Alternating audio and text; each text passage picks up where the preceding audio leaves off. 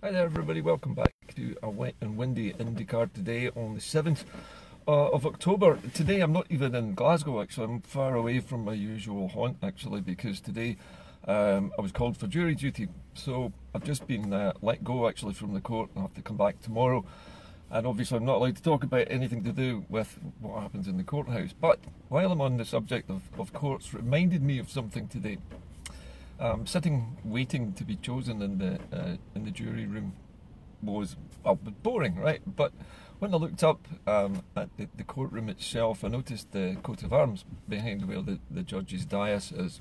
And I was looking at that, and it suddenly dawned on me that, um, unlike a lot of iconography associated with the British state, the coat of arms of the Scottish court system uh, is the unicorn on the left, lion on the right, unicorn holding a saltire, but the lion not holding a Union flag, but holding the English cross of St George. And it dawned on me at that point, you know, that we still need to remember that we're not talking about um, Scotland leaving uh, leaving the United Kingdom. It's actually just Scotland leaving England because that's what the Union actually is. The Union is just two countries, England and Scotland only. Anyway, to bring things back to or back into focus today, um, the blurb I wrote at the start of the show indicated um, what is going on with Boris Johnson at the moment. It's very hard to get away from Brexit and talk about anything else, but let's let's briefly have a quick sort of look at what is going on at the moment. Now, uh, the BBC this morning had the Health Secretary, uh, what's his name, Matt Hancock, on, and he was supposedly talking about um, the mental health of the country and some new scheme that the British government or the Tory government was planning to put in place. And he got really annoyed when um, when the interviewer asked him the question about Brexit. He, he got really uh, sort of angry and annoyed about this and sighed and rolled his eyes as if you know that nobody was going to ask him about Brexit, and they really wanted to get on with the day job. I mean, the day job can't be done until Brexit is sorted out. He knows this. Matt Hancock, um, I think, is as sick of Brexit as the rest of us. But anyway, the situation at the moment uh, is weird.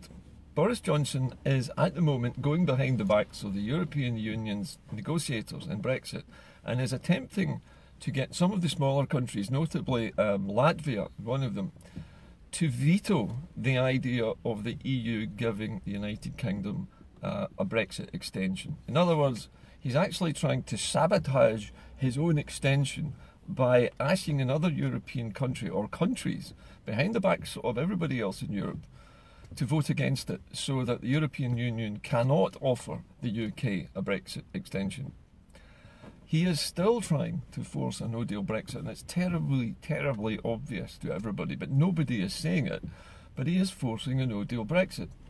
If he doesn't succeed in getting the European Union or one of the countries to veto the idea uh, and actually sabotage our own extension to, um, to, to Article 50 and get a little bit more time, he's trying to close that down. He's trying to run the clock down so that all of the options are removed so that there is only one option left, and that is accept our um, terrible deal on Northern Ireland and um, this, this weird border arrangement that he's proposing, or else we leave with nothing. Now, it's been pointed out to me by a number of people who keep their eyes on what's going on in the background in Europe and in other places that there's a number of very good reasons why Boris wants a no deal Brexit. And one of them, and the one which many people have talked about, is uh, the intention of the UK government to turn Brexited UK into the largest tax island haven in the world. In other words, the biggest money laundering and tax evasion centre on the planet. And for it to become the major industry of these islands to launder and hide other people's money. Primarily, I think, from uh, the billionaires of the United States, but also of Russia and other places as well.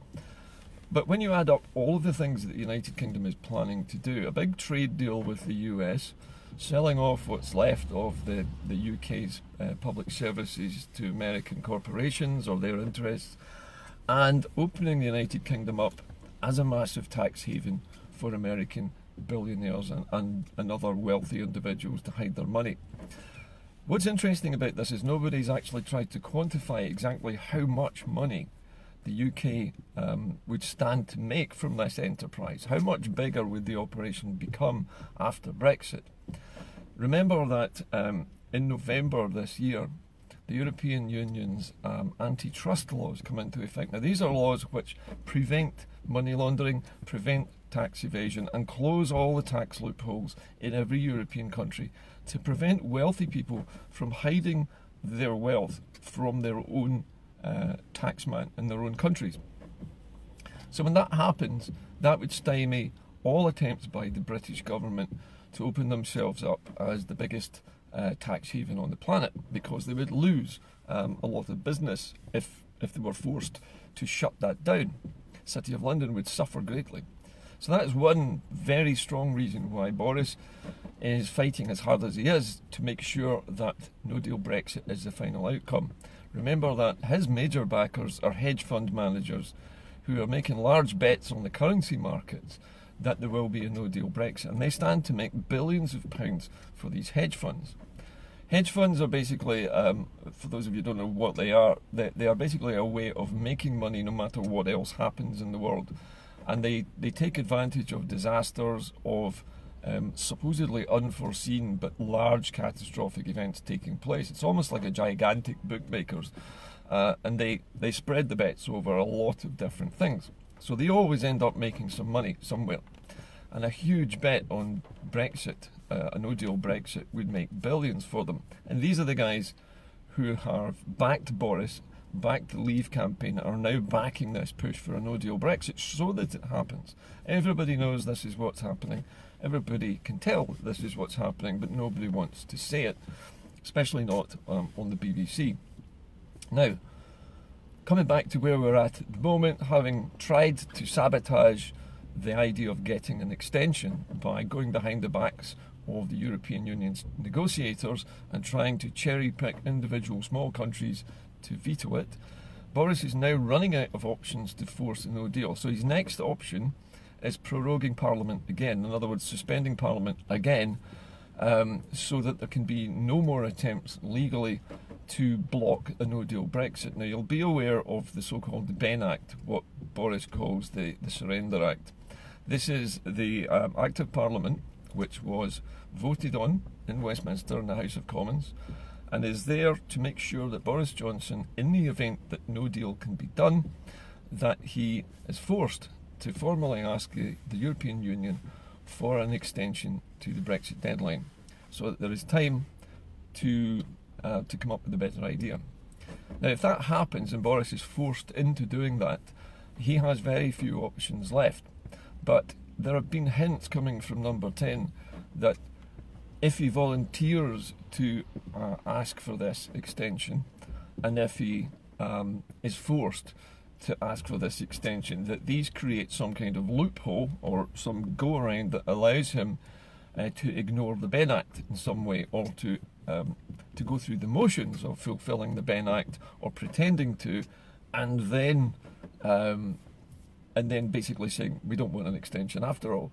So there are all kinds of workarounds. Remember, the British state has no written constitution, no rules that actually tell the Prime Minister what they can and can't do. There are only uh, precedents and there are um, instruments, statutory instruments. These are, are things that you can do in Parliament that allow you to make changes to legislation without necessarily having to vote on it. Boris will use those powers. He'll use the Henry VIII powers he'll use whatever um, means he can to wriggle out of having to ask for an extension. But if he is finally forced to do it, what will happen is a general election. And the, the smart money is that Boris will do a deal with, with Farage's Brexit party. And the two of these, the, the, the right wing, the far right wing of the Tory party and the Brexit party combined, might win enough MPs, enough seats to get a majority to force through the no deal. Now, this is conjecture at the moment. Nobody knows whether he will manage to do this because, as I said, there are no rules. Uh, we're in completely uncharted legal and uh, constitutional territory here.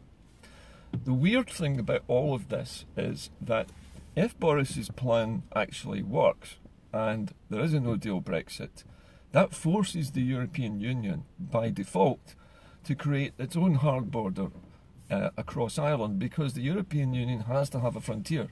It cannot trade um, through an open space because there would be no way to control smuggling, there would be no way to control the rules of the market beyond that boundary. So, what Boris is hoping to do is to force the European Union to put up the first checkpoint so that he can blame the European Union for uh, overriding the Irish uh, agreement, the, the Good Friday Agreement. Now, the trouble with all of this is that even if if the if the European Union, just out of pure uh, spite or or just for, for a laugh, decided to accept Boris's proposal, assume that they did, uh, in the interest of getting a deal done, that would mean that Boris would actually have to action that plan, and by doing that, he would actually break one of the fundamental rules of the Act of Union, which would mean that Scotland would then be able, literally, to end the Union instantly because Boris would have basically broken an international treaty which was made on behalf of Scotland and England, and therefore drag Scotland into, well, global ill repute, if you like. It would sully the name of Scotland as a country, and it would basically break one of the fundamental rules of the precious union, which uh, is that no part of the precious union is supposed to be treated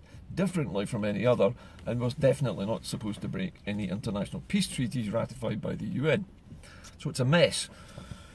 But in, in all of this mess, um, let's assume that we have a no deal Brexit and Britain does become a giant tax haven, a giant money laundering washing machine of an industry uh, emerges, and Britain makes trillions of dollars from this in foreign currency. Wonderful, great. Boris is a success. He becomes even wealthier than he already is, and his hedge fund managers basically go off and buy countries for themselves. What happens to Scotland? Well, the interesting thing is that if we can quantify the amount of money that the United Kingdom could make from becoming the world's largest monopoly on hiding money, it might well be far more than the amount of money that England would lose in oil revenues should they agree to let Scotland become independent. And therefore, at this point, it might seem quite tempting to Boris Johnson after Brexit to simply give us the Section 30 order and let Scotland walk away from this mess because remember that the oil industry is in its um, autumn years, it's in its declining years. The European Union has already banned the manufacture of new diesel engined cars. And this is the beginning of the decarbonisation of Western Europe. It's just the start of it, and it means that the value of oil, petrol, and diesel is going to diminish because the demand for these combustible fuels is going to eventually disappear. The demand for oil will not go completely because we do need oil for lots and lots of other things, right? For lubricants and for soap, for um, for other kinds of fuels, uh, for solvents, for paints, for adhesives, um, for phosphates, for chemicals, for agricultural fertilizers, all kinds of other things that come from oil, including obviously things like plastics uh, and we can also even convert some parts of the oil into natural gas.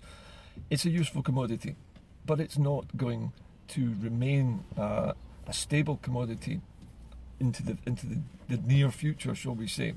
So it's possible that Boris might decide um, that it's okay to let Scotland go because Britain is going to make enough trillions of dollars in foreign currency that it won't matter. The, the British economy, or what's left of the English economy, uh, is going to boom and everybody is going to work in an office hiding money for wealthy Americans. Fine.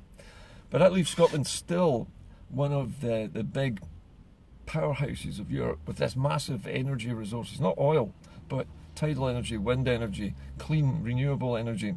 And having them linked up already with Ireland, Northern Ireland, Iceland, and uh, I think, I'm trying to remember whether it's Norway or Sweden, but there will be interconnectors running to mainland Europe. When all that's connected up, Scotland becomes a giant power station. So England becomes a money black hole, which makes its money by hiding other people's money. Scotland makes its money by supplying the rest of the world with surplus energy. Both of these futures can happen at the same time. I'm not saying that what Boris is doing is morally or uh, or legally the right thing to do. I, I don't actually believe in money laundering and tax havens. I think these things are immoral and wrong. But if that's the choice that the English government has made, then let them do it. If it allows us to leave the UK and to decide what we do with what's left of our oil and our gas, then that's fine. I don't honestly believe that, um, Boris is even thinking that much about oil. Uh, there is a, a very strong belief in England that they're a wealthy country, that they, as they say, punch above their weight, and that there's still some kind of renowned world power of some kind. It is true that the English economy is large, um, but the English economy is based on debt and borrowing. The Scottish economy is based on trade and industry. Very, very different uh, models for a country. There have been, uh, in the past, models of how to build a new nation. Norway is quite a famous one. And believe it or not, Britain played a bit of a role in the in the actual liberation of Norway. It was originally in a forced union with Sweden. Uh, and it was partly the British who insisted that the Swedish government let Norway go and form as a, as a, as a separate nation. Now, the fact that the British state thought to do that and thinks that long term gives you a, a rough idea of how the British establishment works. It does look at the future. I mean, it's not uh, a blindly greedy, nasty um, institution, although it has qualities like that. But it is also smart, and it also knows when the game is up. And the game is almost up now for uh, for the union, and they know it. And they also know that the union may not be sustainable for much longer. And I think after 2014, they realised that Scotland was ready to move, and in a few years' time, they wouldn't be able to stop it.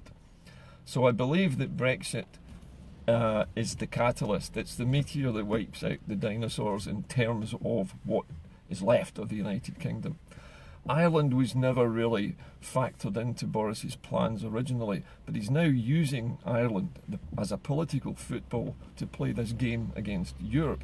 The Europeans are playing the game perfectly with a straight poker face, and they will uh, give as long an extension as Britain needs uh, at the end of this period. Remember, there's only a week to go now. There's only seven days in which Boris or his government is supposed to come up with this miracle deal. The European Union might call their bluff by accepting the deal. I don't know. And if they do that, Boris's plans could run into the buffers. But the the whole thing is coming to a glorious head at the moment. And in the next week or so, we will see a whole series of unexpected, remarkable, and weird twists and turns in the final stages of this agonisingly slow process.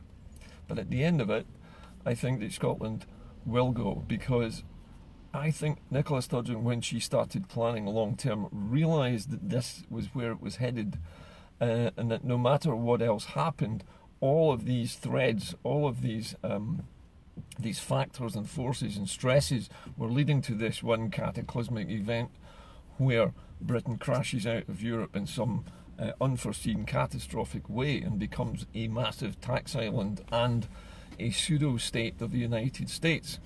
At which point Scotland can't bear that any longer and wants to leave, and the English will let them go because oil is no longer their future. Um, oil is their past. They've robbed Scotland of at least half of all its oil revenues over the last 35 years, possibly more. Trillions of dollars have been hoovered out of Scotland's North Sea. And now that England's had its fill of the oil and Britain now sees its money, its revenue stream coming from the world's wealthy billionaires hiding their money somewhere in the British Isles, they, they see a golden future. This is what Thatcher envisaged many years ago was an entirely white collar country, not a factory anywhere to be seen. Everybody basically working for banks and financial institutions and insurance companies. Uh, and the only industries in the country that were left would be the coffee shops and the burger bars that fed the office workers. The rest of it, uh, they would minimise, and they will. They will minimise the, the National Health Service and get rid of it eventually. Everybody in England will be on private health insurance, and the whole thing will switch over to the American system. And there is absolutely no way that the people of Scotland would ever put up with that. So you can see where this is going. It's a long term strategy, but everything's coming to a head. I'll be saying more about this in the next few days. But at the moment, the pieces of this incredibly complicated uh, spaghetti of different things are coming together in the next few days. But it may well be that in order to extricate the UK from Europe, Boris will have to liberate Scotland. He will have to give us the Section 30 order. Let us vote on it. Let us get clear uh, and start with a clean slate and our own Scottish pound. Uh, and we'll be in the safe haven of Europe. As far as we're concerned, there is strength in numbers and in the way that the whole of the, the global economy has been tossed up in the air and the pieces are all now falling back down again. The countries have got to decide where they're going to finish up. The United Kingdom wants to be in America's court, in its sphere of influence. They don't want to be in Europe anymore, they want to be with Trump. Scotland wants the opposite. We're pulling in the European direction. Irish, they're staying in the European direction. The Northern Irish caught in the middle, being pulled in different ways, but primarily the people of Northern Ireland want to be in Europe. Whether they are unionists or not, they want to be in Europe. And the DUP is going to die off because they are going to be so unpopular very shortly that nobody will elect them ever again. Anyway, those are my opinions and my an analysis of what's going on at the moment. If you have any uh, comments to make, as usual, just uh, send them to me directly or comment on the video as you watch it. I'll be back again tomorrow um, with some more thoughts, shall we say, on what's going on behind the scenes. But at the moment, uh, what's happening in Europe in secret with the, the UK secretly going behind the backs of the European Union is the usual devious divide and rule tactics of British diplomacy. Uh, Scotland, I think, is going to have to just wait a few more days to find out what the, the, UK is going to do. I think Boris will prorogue Parliament again. I think we'll run out of time. I think we will be offered a, an extension, but we won't be able to take it. And we will crash out of the EU as planned on the 31st. And then the hedge fund man- managers will make their money on their bet. Boris will get paid. And who knows, after that, there's going to be a general election Boris might well actually decide just to retire at that point and sod off with his ill-gotten gains, and I wouldn't surprise me if he did that. He's done his job, he's Brexited Britain, and he's done it in the most difficult, dirty, dangerous way. That's a lot of alliterations there, sorry. But it's the worst possible way of Brexiting.